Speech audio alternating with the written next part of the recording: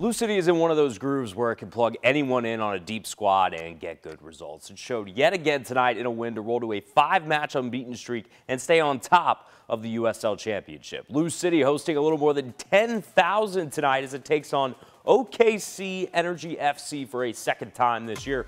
First half, Jimmy McLaughlin gets this one right outside the box, runs in, crosses it. It is off an OKC defender's head and in. That's the first own goal of the season for a Lou City opponent. They will gladly take it. It is 1 0 for the home team. Let's go to the second half. Jonathan Gomez gives up the ball.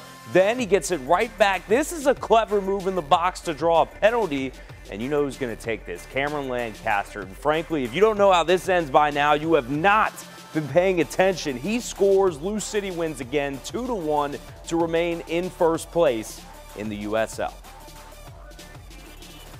You don't win anything uh, for being in first place in the middle of the year. With that being said, um, extremely, extremely proud of this group and the different ways that we're winning and responding after losing two games. Um, I think it shows a, a true resolve, a true character.